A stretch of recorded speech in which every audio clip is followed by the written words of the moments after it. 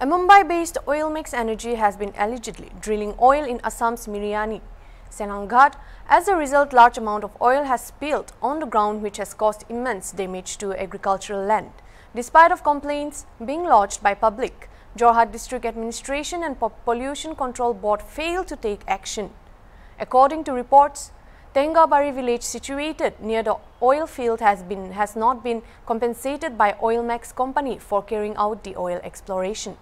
It is also reported that the Oilmax company does not follow any safety measures which is posing hazard to the environment and people around the oil fields.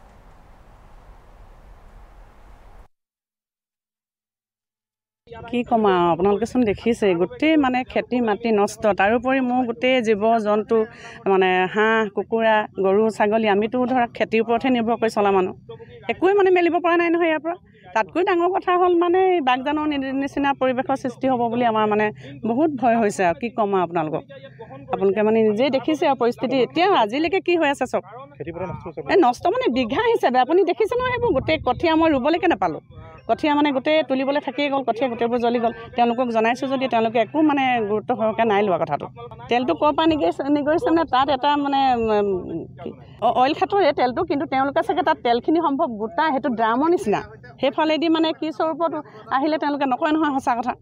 সুধিলেও তেওঁলোকে সঁচা কথা নকয়। তেওঁলোকে মানে এইটো কয় ক্ষতিপূৰণটো দিম বুলিয়ে কয় বাৰু নিদিওঁ বুলি নাই কোৱা। কিন্তু যেনেধৰণে দিব লাগে তেনেধৰণে নিদিয়ে তেওঁলোকে মানে কৈছে এবছৰত যিটো ধান মানে হয় সেই ধানৰ পইচাটো তেওঁলোকে দিব। আকৌ নেক্সট বছৰ যদি খেতি নহয় আকৌ নেক্সট বছৰৰ পইচাটো তেনেকৈ দিব। তেনেকৈ আকৌ সেইবোৰ ল'ৰা ধেমালি কৰি থাকিবলৈ সময় আছে নি? আৰু আমাৰ এতিয়া মাটিত ইয়াত তেল পৰিছে। ইয়াৰ মাটিৰ বা গুণাগুণ কি কৰিছে?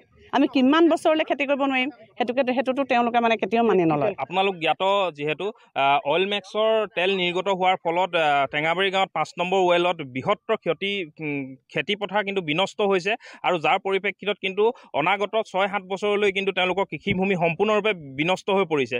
আৰু আমি ভুক্তভোগী ৰাইজৰ লগত আমি সদায় উপস্থিত থাকোঁ আৰু আজিও আহি আমি উপস্থিত হৈছোঁ। আমি এটা কথা অইল মেক্স কৰ্তৃপক্ষ আৰু যোৰহাট জিলা প্ৰশাসনক আমি স্পষ্টভাৱে আমি সকীয়াই দিব খুজিছোঁ যে ভুক্তভোগী ৰাইজসকলৰ যিসমূহ দাবী কিন্তু সম্পূৰ্ণৰূপে আপোনালোকে মানি লওক অনাগত নহ'লে কিন্তু অনাগত চৌবিছ ঘণ্টাৰ ভিতৰত কিন্তু আমি সদৌ অসম ছাত্ৰ সন্থাই ইয়াৰ ওপৰত কিন্তু অইল মেক্স সম্পূৰ্ণৰূপে অচল কৰি দিম বুলি আমি আপোনালোকক স্পষ্টভাৱে সকীয়াই দিছোঁ। আৰু দ্বিতীয়তে এটা কথা আমি ক'ব লাগিব এই ক্ষেত্ৰত কিন্তু জিলা প্ৰশাসন অৱগত যদিও জিলা প্ৰশাসন সম্পূৰ্ণৰূপে নিলিপ্ত ভূমিকা ইয়াত কিয় লৈছে আমি তেওঁলোকক এইটো এটা অতিকে ৰহস্যজনক কথা কিয়নো অইল মেক্সে ইয়াত কোনো তেল উৎপাদন নহয় বুলি কয় কিন্তু তেওঁলোকে ইয়াতে পানী ইনজেকশ্যন কৰোঁ বুলি কয়। কিন্তু আজি যোৱা সাত তাৰিখে কিন্তু ইয়াৰ পৰা তেল নিৰ্গত হৈ যি কৃষিভূমি নষ্ট কৰিলে আমি তাৰ বাবে কিন্তু আমি ইয়াৰো এটা ৰহস্যৰ গোন্ধ পাইছোঁ ইয়াত।